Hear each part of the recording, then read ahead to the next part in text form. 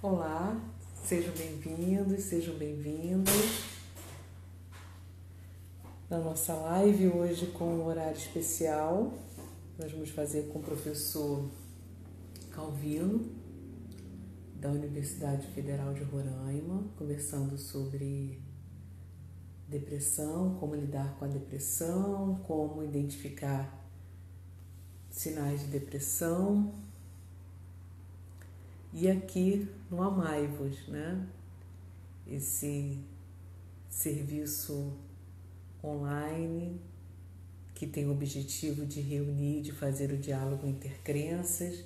Eu vou convidar aqui o professor Calvino, que já entrou.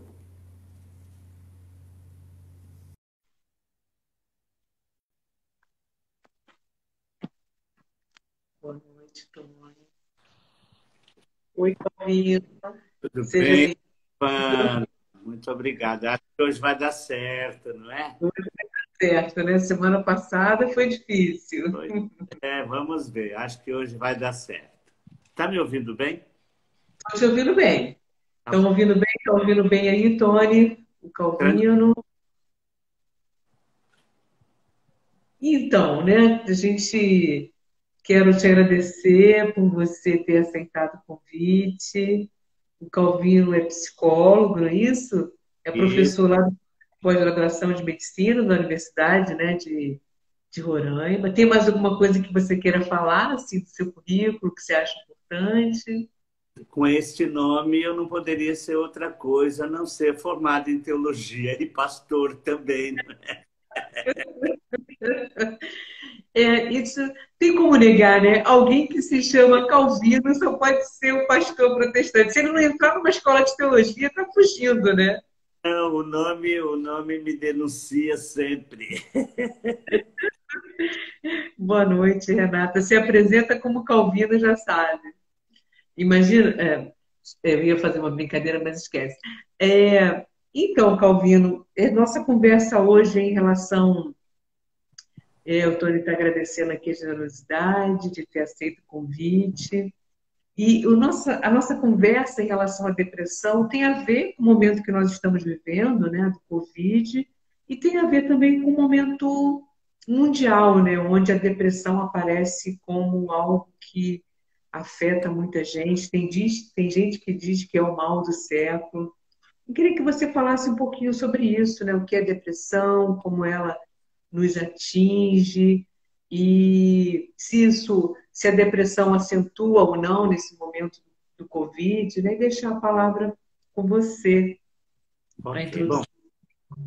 Primeiro, quero agradecer o convite e me desculpar. A nossa região aqui, no extremo norte do Brasil, nós temos uma, certa, uma um pouco de dificuldade com relação a, a acesso à internet. Né? A internet ainda tem algumas limitações. Então, eventualmente nós é, estamos sujeitos a, vamos dizer assim, a essas dificuldades, a esses problemas. Então, eu gostaria muito de agradecer e agra agradecer muito mais a insistência e a disponibilidade de é, ter mais uma oportunidade para estar com você, Silvana, e com os demais que estão é, nos acompanhando. Então, muito obrigado pela paciência, pela generosidade. Para mim é uma alegria muito grande estar com vocês. Bom, uh, eu trabalho com saúde mental, no, eu é, oriento e faço pesquisa no mestrado com saúde mental. É, também trabalho com epidemiologia, tenho acompanhado as questões relacionadas ao desenvolvimento da Covid no Brasil e especificamente aqui na região norte e aqui no estado, não é?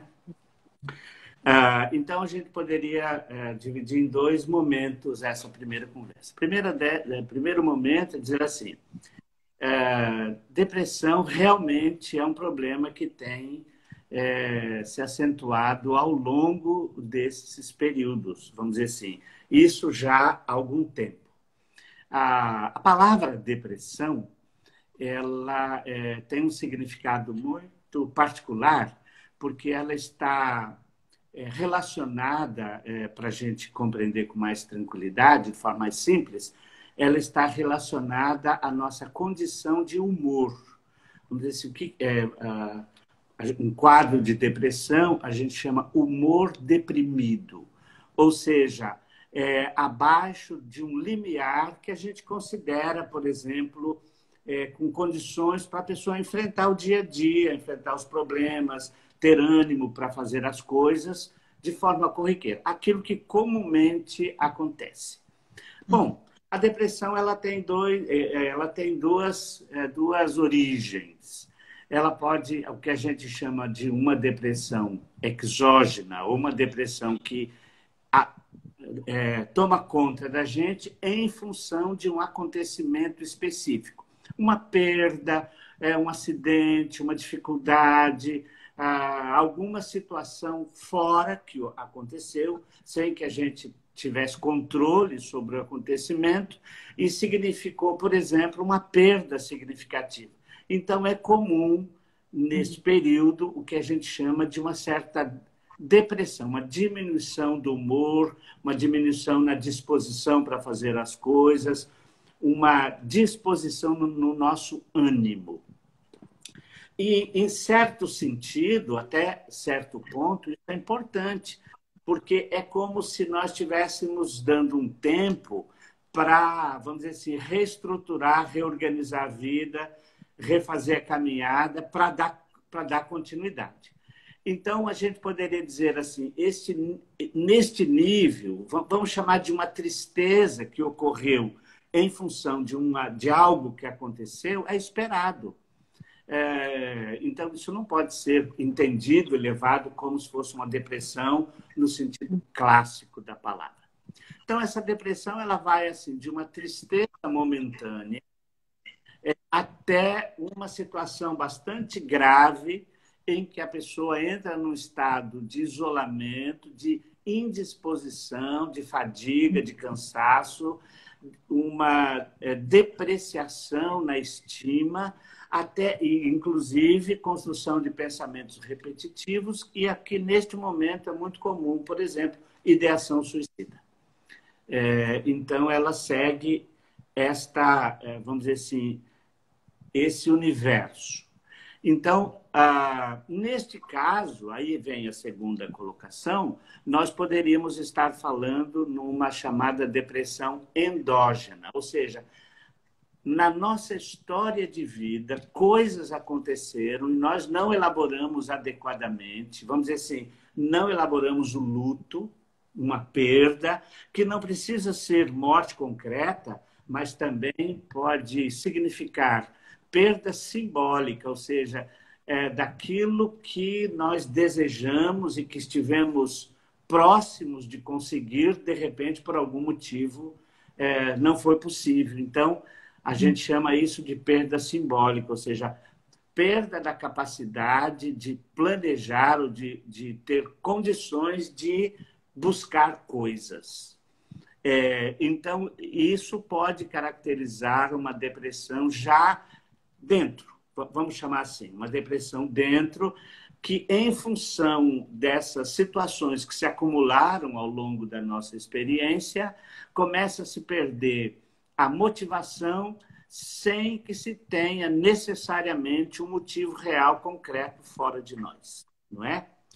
Isso é muito comum é, em determinadas fases do nosso desenvolvimento. Isso acontece na adolescência, em certa medida, porque, veja, a adolescência é uma situação muito característica para o indivíduo entrar na vida adulta, ele passa pela adolescência, e passar pela adolescência é abrir mão da infância. Então, isso fazer pode... o luto da infância, né? Como a gente Oi? não tem fazer luto da infância, a gente não tem rito de passagem disso, fica uma isso. dor que não é processada, né? Exatamente. Então, fazer o luto da infância, para algumas pessoas, isso é muito doloroso, é muito, é muito doloroso. Mas se não fizer isso adequadamente, entra na adolescência com muitos conflitos. Vamos dizer assim, algumas pessoas, por algumas características pessoais, elas sobrevivem a isso, tá, etc. Se isso for é, produzir um impacto muito significativo, lá na vida adulta, em função de qualquer situação, talvez peculiar ou até sem muita importância, isso pode é, voltar. E aí é que a gente teria, então,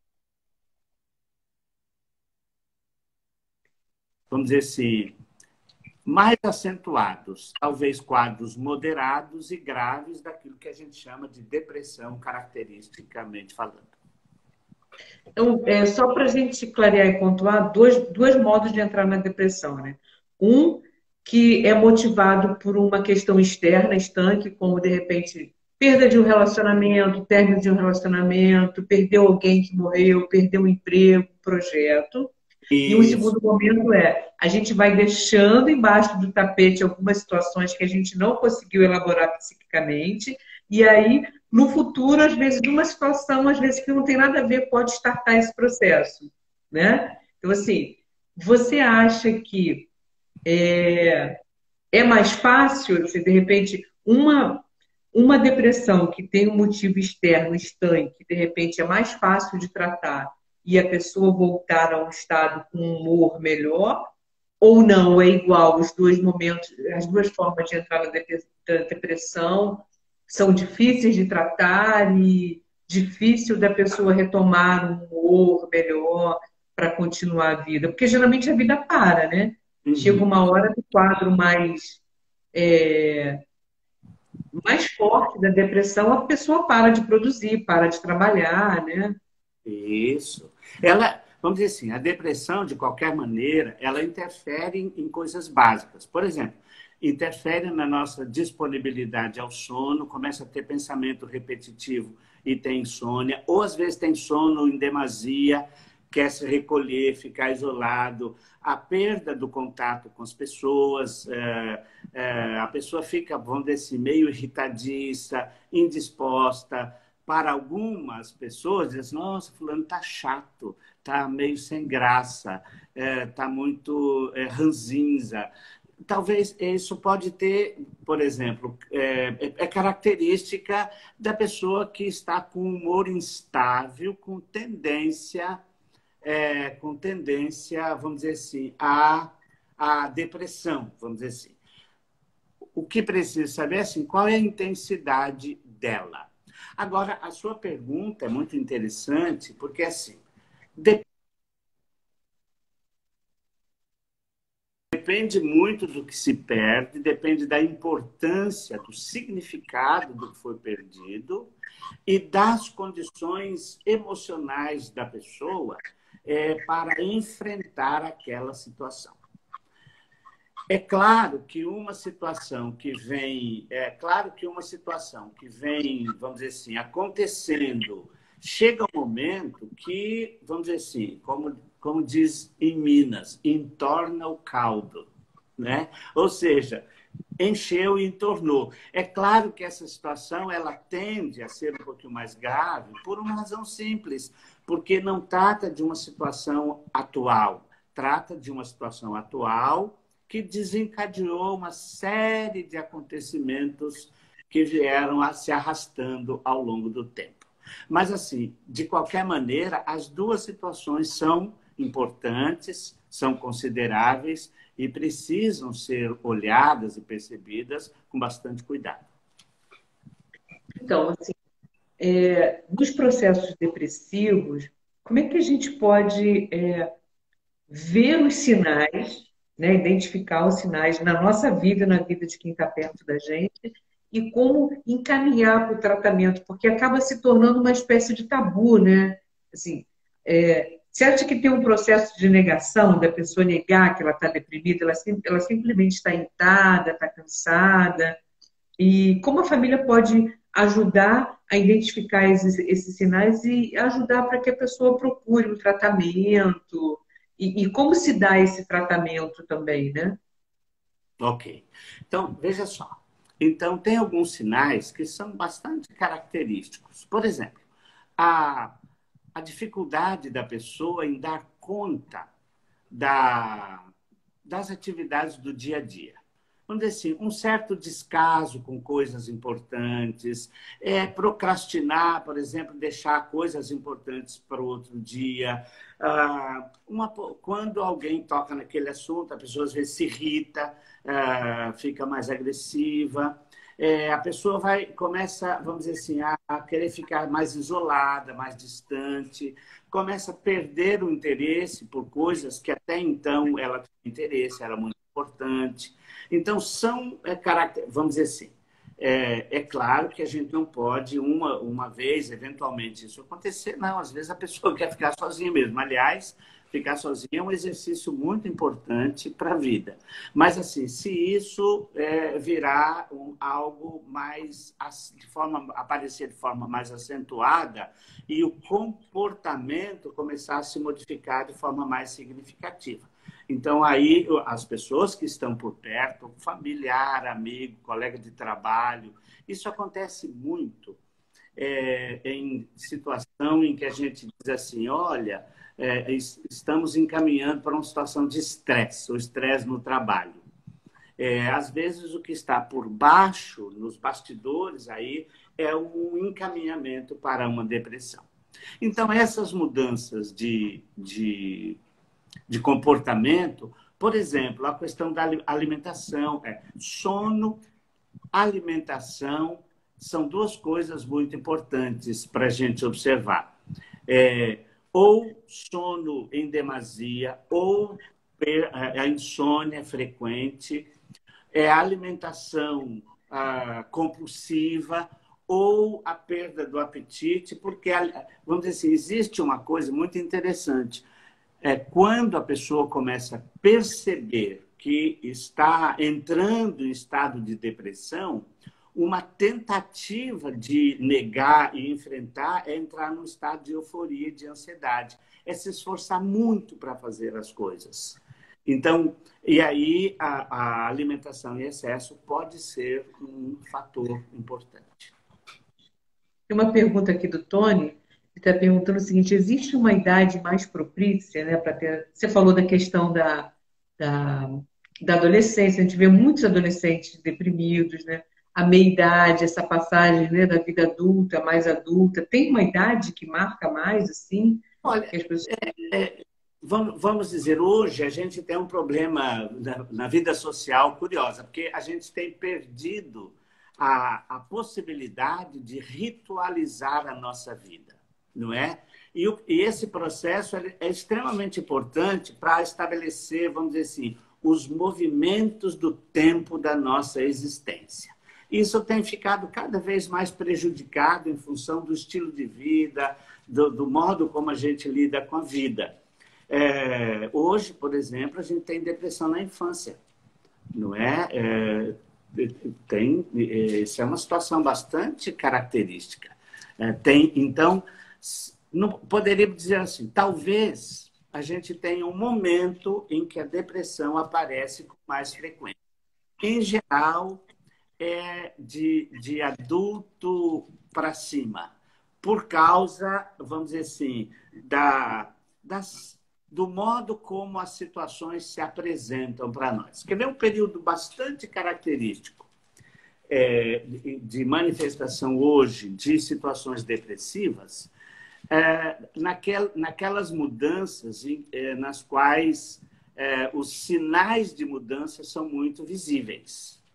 Por exemplo, a menopausa é, para as mulheres e a aposentadoria para os homens. É, isso tem, assim, a gente poderia dizer, a epidemiologia tem ensinado para a gente essas, é, esses momentos. Mas, de forma geral, é, isso acontece ao longo da vida e vai aparecendo é, com, com certo nível, com, de com uma certa quantidade.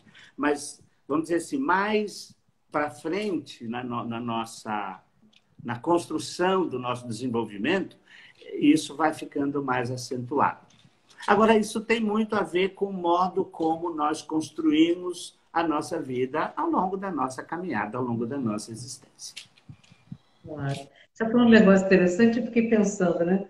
Porque depressão, é, geralmente ela tira a pessoa, se ela tiver né, no, ativamente profissional, ela tira a pessoa né, da atividade profissional, ela tem uma sobrecarga no, no sistema de saúde, né? Porque você tem uma quantidade de remédios e tal. Quer dizer, quando você, claro, você disse que tem é, depressão na infância, tem a depressão, né, do adolescente, do jovem, do adulto. Mas assim, a gente sabe que esses marcos, né, como a menopausa na mulher e a aposentadoria no caso do homem, são momentos assim férteis, né, no mau sentido para depressão. Quer dizer, tem alguma coisa, né, assim, que a gente pode fazer do ponto de vista de saúde pública, né?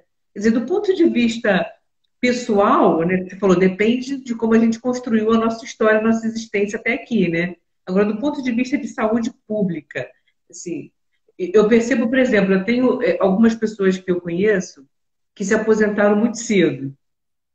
E se aposentaram muito cedo e assim, e agora o que eu vou fazer na minha vida? Nada, não tem nenhuma praça durante, da minha casa para jogar carta. O que eu vou fazer? Eu vou ficar o dia inteiro dentro de casa, vendo televisão, esperando a, a morte chegar, né, com a boca cheia de dentes, como diria o Raul Seixas. Só que junto com essa boca cheia de dentes, esperando a morte chegar, vem uma doença, né? E faz com que a pessoa gaste muito dinheiro, porque não é barato, né? Tratar de doença. Né? Então, não tem alguma forma, né? De lidar a saúde pública com isso, prevenir, ajudar, amenizar? Sim. Pois é, olha só é, é, existem várias é, tentativas ou vários projetos bastante interessantes e inovadores. Por exemplo, é, hoje é muito comum nas grandes empresas, nas grandes organizações, é, o, o, que eles chamam de preparação para a aposentadoria. É, o que, que é essa preparação para a aposentadoria? É justamente isso. quando o indivíduo vai chegando perto da aposentadoria, essas organizações começam criar determinado tipo de atividade, acompanhamento psicológico, para que o indivíduo possa fazer um planejamento para as suas atividades é, depois da aposentadoria.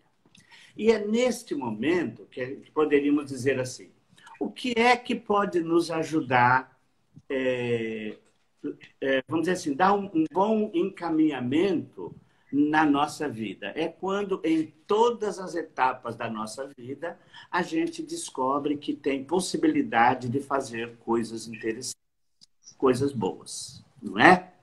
Bom, então, olha só. A, a pessoa, vamos dizer assim, a única coisa que ela tem que fazer não é só trabalho, ela pode fazer outras coisas. Aí a importância, por exemplo, de incluir na vida bem antes, talvez até desde a adolescente e juventude, é diversificar, por exemplo, atividades na vida, tarefas, para que as etapas possam ser vividas com prazer, com satisfação, com alegria. Então, aí tem duas. Eu, eu falei de uma, vamos dizer assim, o que as empresas, as grandes organizações têm feito, o que se tem feito no âmbito de saúde pública ou das políticas públicas de saúde. Por exemplo, a unidade de saúde que, ou serviços de saúde municipais, estaduais, que propõem atividade com os idosos, não é? Atividade de lazer, atividade física, grupo de convivência, etc., é justamente para possibilitar é, que, para oferecer outras possibilidades para que as pessoas possam, vamos dizer assim, se sentir vivos e em condições de dar caminhada. Outro, outra uh, questão importante é o exercício da espiritualidade. Esta é uma questão importante, interessante, que tem também ajudado assim, uma comunidade religiosa, seja ela de que natureza for, é, cuja relação seja saudável e faça sentido, pro, contribua para o desenvolvimento, para desenvolver a capacidade da pessoa em fazer coisas interessantes, desenvolver o seu potencial, potencial de ajuda, não é? Então a gente sabe, que, por exemplo, todas as pessoas é, depois que, que viveram, que tiveram, ah, elas têm algum, alguma coisa para oferecer. Isso é possível. Então, é, desenvolver esse potencial é bastante saudável e interessante no sentido de, ah, vamos dizer assim, possibilitar que a pessoa não entre em depressão ou uh, seja capaz de superar uma situação de depressão. Tem um dado interessante, é, por que, que os serviços de saúde, por exemplo, principalmente na atenção básica, as prefeituras, as unidades de saúde, por que, que elas incluíram essas atividades? Porque percebeu-se que é, essas pessoas em atividade diminui a possibilidade ou diminui a quantidade de medicamento que elas tomam. Então, vamos dizer assim, essas possibilidades se constituem, inclusive, um elemento econômico, ajuda a gente financeiramente. Você não gasta com remédio. Inclusive, é, pessoas com problemas de saúde, por exemplo, obesidade, hipertensão, é, é, câncer, por exemplo, ah, contribui significativamente para a vida, para o desenvolvimento desses potenciais e desenvolvimento da saúde mental das pessoas. Então, ah, todas essas atividades são muito importantes e isso está disponível aí para as pessoas em vários níveis, não é? E as políticas de saúde têm descoberto isso, e isso tem sido muito interessante. Interessante você estar tá, tá falando que eu estou lembrando assim, tem é, nos municípios, né, nessas é, atividades integradoras, biodança, né? arte terapia, Isso. é, é, musicoterapia, né? um monte de coisa. E, e a perspectiva do jeito que está montada a saúde no Brasil, assim, voltada para o plano de saúde, é remédio, remédio, remédio, remédio. Aí a pessoa tem um plano de saúde, toma remédio, e assim, só que além do remédio, a gente tem essa coisa da, né, dos municípios de coisas que a gente pode fazer, como fazer uma biodança. Exatamente. Né? Como você fazer uma coisa que você vai estar ligando, lidando com o seu corpo, com a arte, para junto estar tá potencializando a questão do remédio, né? Tem uma é. outra pergunta aqui, que é se, se você acredita, você acha que é, você falou sobre espiritualidade, há uma relação entre crentes e não crentes. Eu falo crente né, do ponto de vista de alguém né, ter qualquer tipo de, de vínculo religioso em relação à depressão. Quer dizer, quem tem um vínculo religioso tem menos depressão ou não? Ou isso é algo que não interfere muito na sua opinião? É, olha, os estudos têm mostrado que não necessariamente. É, o, tem um professor, é, um psiquiatra da USP, chamado Francisco Lotufo Neto. Ele tem uma pesquisa, é, a, é o trabalho de livre docência dele, é um trabalho muito interessante. Ele faz um trabalho com é, pastores evangélicos. É, é, em geral, a, a, depressão hoje ela é identificada em aproximadamente 8, 8,5% da população no mundo. No caso dos pastores, ela vai para mais de 16% da população. É, então, talvez a depressão esteja muito ligada ao tipo de tarefa, de atividade que as pessoas fazem e o quanto elas se sentem pressionadas sem a possibilidade, vamos dizer assim, de se realizar plenamente naquilo que elas fazem. Nesse sentido, é um fator importante relacionado às atividades profissionais, não é? é então, é, considerando isso, acho que a gente não poderia fazer uma relação é, muito estreita, vamos dizer assim, estatística, Agora, o que é, que é possível dizer é assim: toda atividade que seja prazerosa e ela tenha um sentido de continuidade na vida, ou seja, que abre horizontes e possibilita visualizar coisas significativas para o futuro, elas animam e, e, vamos dizer assim, cria um bom ânimo, uma disposição e pode ajudar, ajudar, por exemplo, o ser humano a lidar com com tristezas momentâneas, com problemas é, é, eventuais que aparecem ao longo da vida. Então, na verdade, nós estamos diante do que a gente chamaria, então, de qual é o sentido da vida. Então, quando há uma certa perda é, do nexo nosso com a nossa história, com, a, com, os acontecimentos presentes e com as possibilidades futuras, Então, isso é um momento propício para a instalação de um problema mental ou de uma dificuldade emocional e, no caso, uma depressão. Interessante.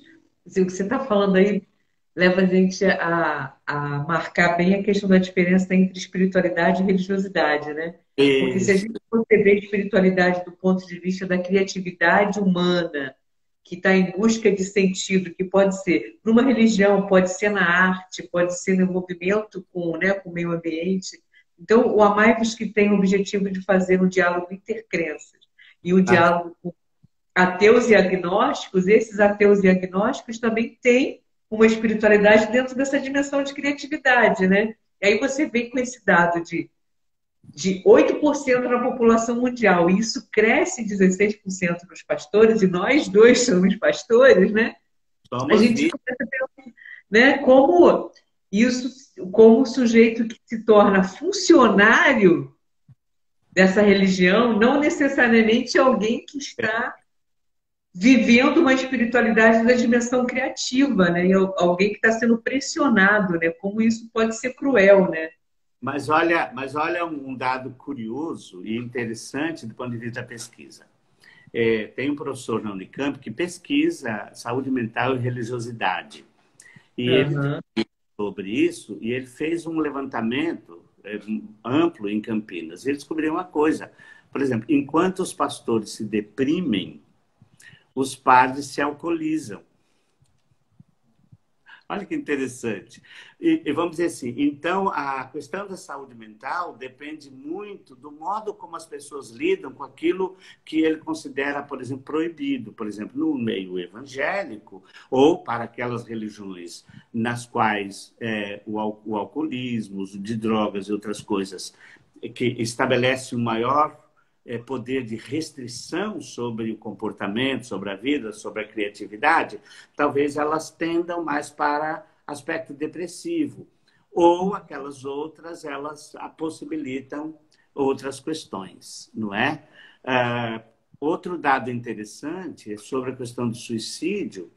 Assim, é, existe uma, uma, por exemplo, com relação aos. É mais comum e frequente suicídio entre os espíritas, menos entre os católicos e menos ainda entre os evangélicos. Então, a gente poderia fazer uma, uma, uma metáfora e dizer assim: cada um fica com, desenvolve os seus problemas de, de acordo com as possibilidades das suas crenças. Muito interessante isso. Né? Isso, dá, isso dá uma conversa só sobre isso, né? É, para você ter uma ideia. E se alguém tiver alguma pergunta, alguma coisa, pode colocar, tá, gente? Agora, eu queria que você fizesse uma relação também entre depressão e Covid, né, 19, assim, se você percebeu na sua prática, né, clínica e acadêmica, um aumento, uma acentuação? Como as pessoas estão lidando, imagina, ficar preso três meses dentro de casa e ainda doente com a depressão, né? Como é que você vê essa questão?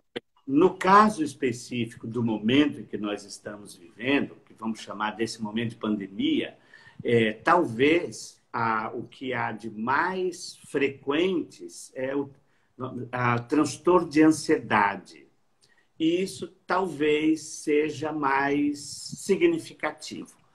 É, uhum. Por quê? Porque é, nós, a, a, o ritmo da nossa vida sempre foi bastante acelerado, todo, todos nós, uhum. né? independentemente das, das condições. Vamos dizer assim, mais ou menos acelerado. De repente, alguém diz para mim, fique em casa. Não é?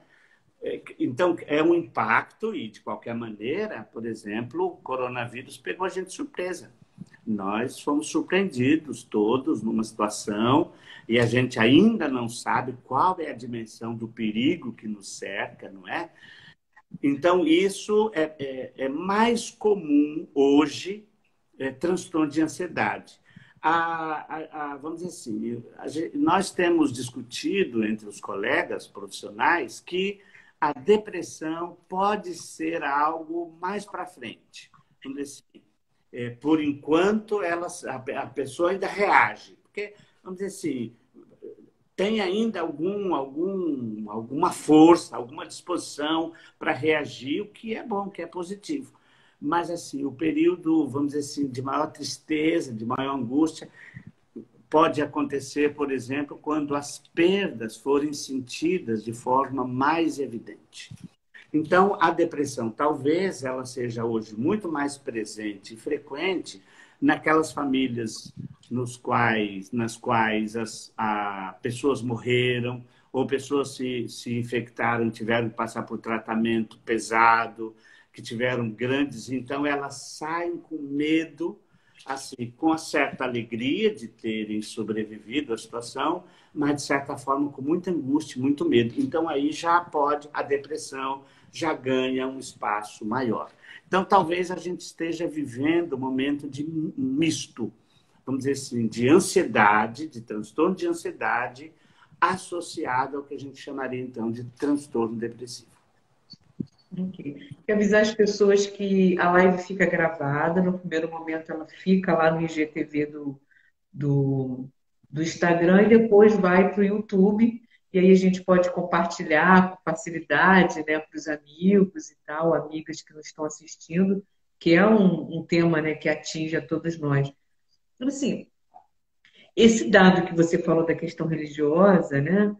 É, é, e, e, você falou da questão da pressão, né? É uma pressão que padres e pastores é, recebem porque existe em torno da questão religiosa, às vezes uma pressão enorme de desempenho, uma pressão de, de controle, né, de comportamento, e tanto na vida religiosa quanto na vida profissional, né, esses é, pessoas que enfrentam o quadro depressivo, depressivo sofrem pressão, nem que, um pela questão do controle, outro pela questão da produtividade, né, de, se tornar produtivo, de se tornar bem sucedido. Então a gente vive, religioso ou não, essa coisa da pressão, né? da pressão de uma sociedade que cobra o tempo todo que você tem que ter uma performance, ou ser um excelente religioso, né? funcionário ali do sagrado, ou ser um excelente profissional desse sagrado capital ali, né? Então, assim, eu queria que a gente fosse caminhando para o fim, que você falasse assim coisas na nossa vida, né? talvez é, ainda dê tempo da gente incorporar na nossa vida algumas coisas na nossa existência que facilite que a gente seja mais flexível e essa flexibilidade ajude a gente ou lidar com essas situações ou evitar que a gente caia nesse fundo do poço, né? Então, nesse aspecto, eu, acho que a espiritualidade é um elemento muito interessante. Veja bem, é, o que, que nos angustia mais hoje? Nos angustia hoje, inclusive nessa situação de pandemia, é assim: a gente viveu um tempo acreditando que a gente tinha o controle sobre as coisas, não é? é e já, o coronavírus falou assim: ó, não, não, você não tem controle sobre nada, sobre nada e sobre ninguém, não é?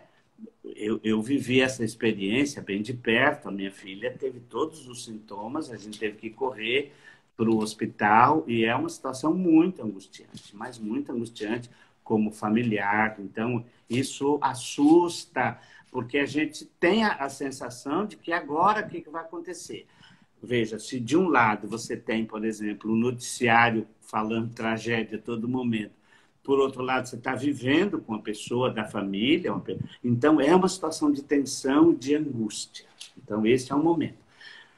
Bom, então, veja, por um certo tempo a gente acreditou que tivesse o controle sobre as coisas, podia né, fazer, planejar, executar e, e depois contabilizar o sucesso. Esse é o momento de dizer assim, não, não é verdade, isso, isso não é verdade, não é? é então, veja, bom, então, o que, que acontece? É que nós não incluímos a diversidade na nossa rotina, não é? E, e, talvez a gente tenha que aprender, aprender isso, incluir a diversidade. E isso talvez ajude a gente a ser um pouco mais leve com a vida. É, vamos dizer assim, restringir um pouco as nossas expectativas, assim, ter as expectativas contornadas por algo mais simples, mais singelo, mais no campo do possível, para que a gente possa, vamos dizer assim, é, depois contemplar a eternidade com um pouco mais de tranquilidade, não é? é? Isso é muito bonito, principalmente na religião hindu, não é? Ah, vamos dizer assim, a vida tem as suas conquistas, mas no final é preciso que haja um certo desprendimento, vamos dizer assim, para se encontrar com a eternidade. É, talvez isso possa nos ajudar um pouco a repensar na nossa rotina, no nosso dia a dia.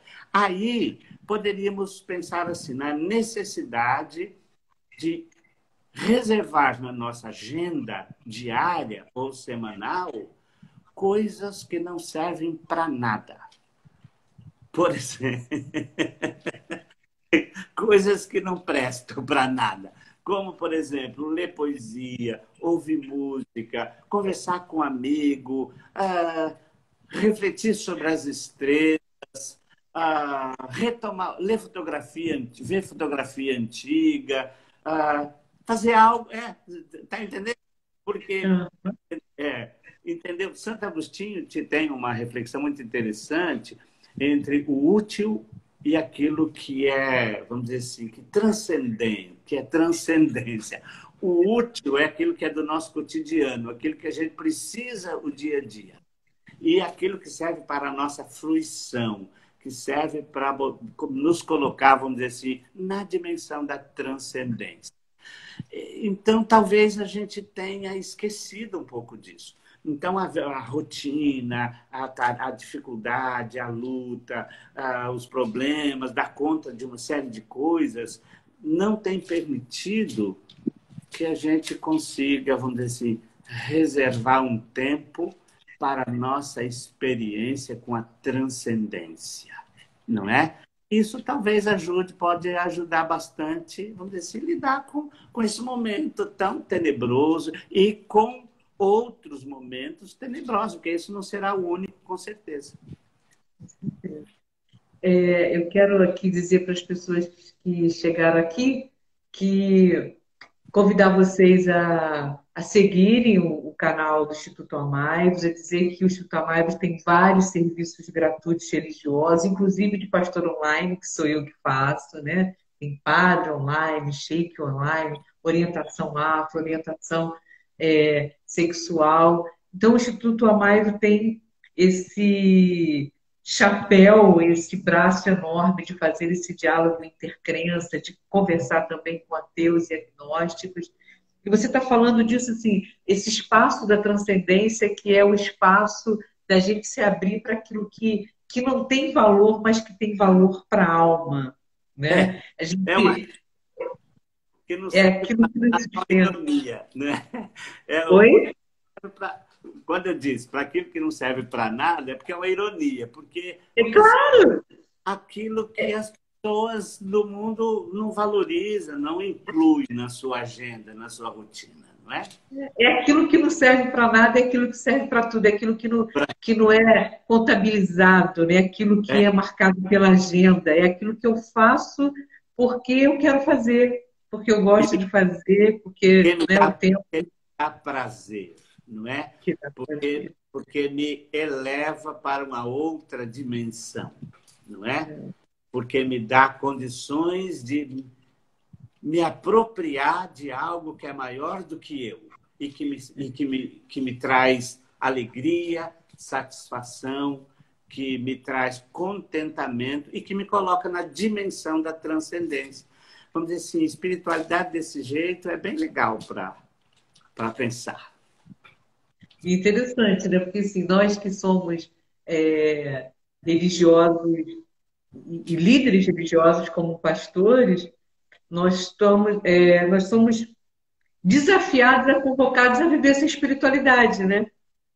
Assim, é, tá envolvido numa religião e se deixar se envolver por essa gratuidade da religião. Senão a gente fica no rito só, no, no ofício e na obrigação e perde isso, né? Perde essa, essa coisa que, que, que não serve para nada, essa coisa que é estar quedada aos pés de Jesus, né? Como né, o encontro que Jesus tem com Maria e Marta. E você está falando dessa coisa, né?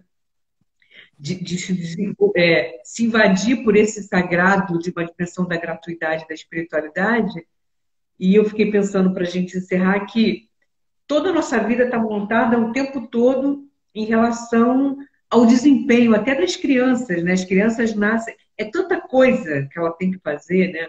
É, tanta atividade, é a natação, é o basquete, é o judô, é o balé, é o curso de inglês, e a escola que tem a Olimpíada de Matemática. E aí, como que. É quase impossível não ter depressão, né? Porque, assim, é um mundo que diz você tem que ter desempenho, você tem que ter resultado, e aí como é que sobra tempo para essa gratuidade? Como é que sobra tempo para fazer isso que não tem valor, né? Muito difícil, né? Mas então, depende também do modo como nós queremos conduzir a nossa vida. É. É? A maneira como nós queremos conduzir a nossa existência. Daí a questão assim, ó, vale a pena incluir na, na rotina da sua vida, na sua agenda, isso, não é? Ora, vou fazer algo agradável. Por quê? Porque depois que parar, por exemplo, essa rotina maluca, por, imagina, eu tenho uma rotina bastante carregada. Eu sou eh, professor de pós-graduação do mestrado, sou diretor de um, de um centro de saúde, sou professor de, do, do, do núcleo acadêmico, coordeno pesquisa, ok. Mas assim, eu levanto um pouquinho mais cedo para minha meditação, para minha reflexão, para entendeu? Ficar acordado olhando o sol. Ele se põe bem, ele, ele nasce bem na minha janela. Então eu fico olhando, pensando, refletindo, é, às vezes com a poesia, às vezes com texto bíblico, às vezes com uma música, e às vezes com nada. Às vezes só com o barulho dos passarinhos que vem cantar ali na minha. Aqui eu estou na Amazônia, uma hora que eu tenho essa felicidade. Eu moro na Amazônia. Então, é passarinho que vem cantar aqui na, na, minha, na minha janela. É? Temos escolha, né? Temos escolha. Então, Calvino, está muito delicioso o nosso papo. Quero te agradecer a gentileza Vamos voltar a conversar, vamos marcar depois uma conversa para falar sobre isso, como que pessoas que estão ligadas à questão religiosa, como chefes disso, são afetadas por, por doenças mentais, muita gente com várias síndromes se afastando, isso dá, isso rende uma conversa. Quero te agradecer a gentileza, agradecer as pessoas que participaram aqui, né? E dizer que vai ficar lá gravado no IGBT e depois no YouTube. Muito obrigada pelo seu carinho generosidade de participar com a gente. Eu agradeço. Muito obrigado pelo convite. Estarei sempre à disposição, vamos dizer assim, porque isso é muito agradável, isso é muito prazeroso. Então, isso é muito bom. Obrigado, Silvana, pelo convite. Sucesso aí no seu trabalho. Agradeço os colegas é, reverendo Valdir, lá dos Estados Unidos, deu um alô aqui, não é? Uhum. Está nos assistindo. Muito obrigado pela participação de todos e também pela paciência e pelo convite. Grata. Boa noite para vocês.